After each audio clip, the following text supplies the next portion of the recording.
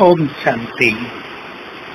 हम संसार में कितने भाग्यवान हैं कि स्वयं भगवान ने हमें ताज और तख्त प्रदान किया है। सतयुगी ताज का आधार भी वर्तमान का ये ताज है और ये ताज है विश्व कल्याणकारी स्थिति का।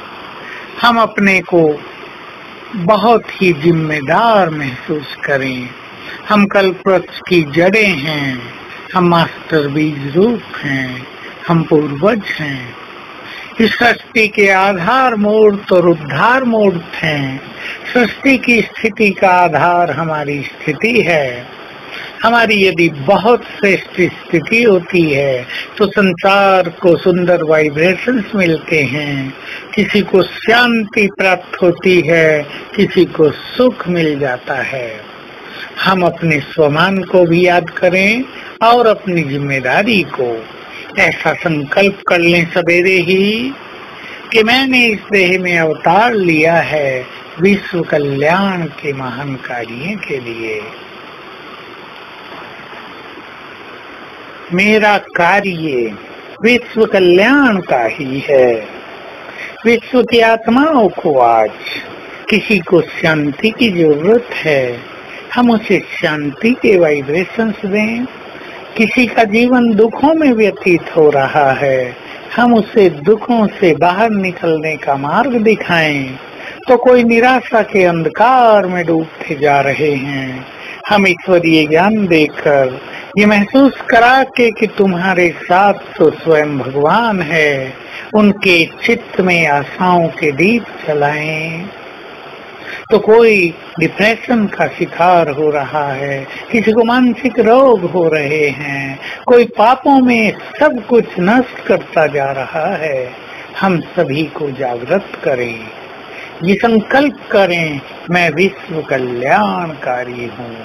और याद रखें ये सीक्रेट हमारी विश्व कल्याण की वृत्ति के द्वारा भी विश्व कल्याण का ये महान कार्य संपन्न होता रहेगा। तो हम बाबा के महान बच्चे हैं। हमारा कार्य भी महान है और हमारा भविष्य भी बहुत महान है। हम अपने इस महान कार्य के प्रति सचेत रहें और विचार करें, जिनको ऐसा महान कार्य करना हो। क्या भला वो अलबेले हो सकते हैं? क्या वो सवेरे सोए रह सकते हैं? क्या वो अपने लक्ष्य को भूलकर व्यर्थ में अपना समय दे सकते हैं? जिनको महान कार्य करने होते हैं, जो जिम्मेदार होते हैं, वो कभी टाइम वेस्ट नहीं करते। तो हम बाबा के इस कार्य में बहुत महान ज़िम्मेदारी को संभाले हुए हैं। तन से, मन से, धन से वाइब्रेशन से मनसा सेवा से ज्ञान देकर हम ये महान कार्य संपन्न कर रहे हैं। तो हमें अपने को आने वाले समय की चुनौतियों को ध्यान में रखकर सभी को सुंदर वाइब्रेशंस देने के लिए स्वयं को सर्व खजानों से भरपूर करना है ताकि हम खाली न रह जाएँ, हम पूरी तरह से भरपूर रहें। हमारे सामने अशांत हुई आत्माएँ आएँगी और कहेंगी, हमें दृष्टि दे दो। हमारा चित्त शांत हो जाए हमारे पास दुखों में कराती हुई मनुष्य आत्माएँ आएँगी और हमें कहेंगी, हमारे सिर पे हाथ रखकर हमारे दुख हर लो।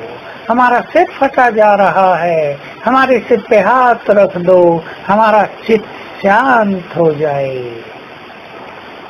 ऐसे सीन भविष्य में बहुत सारे हमें देखने को मिलेंगे। तो हम जिम्मेदार आत्माओं का परम कर्तव्य है कि हम इन महान कार्यों को संपन्न करने के लिए स्वयं को सर्व खजानों से भरपूर करें।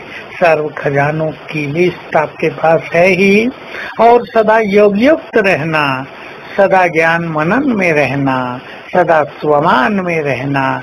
यही तरीके हैं स्वयं को सर्व खजानों से भरपूर करने के। तो आज हम आज हम इस स्वमान में रहेंगे। मैं विश्व कल्याणकारी हूँ और मैंने इस देह में अवतार लिया है विश्व कल्याण के कार्य के लिए। और यही अभ्यास करेंगे कि मेरे सिर पर सर्वशक्तिवान बाबा छत्र छाया है और मेरे द्वारा सारे संसार में श्रेष्ठ वाइब्रेशन फैल रहे हैं। ओम शांति।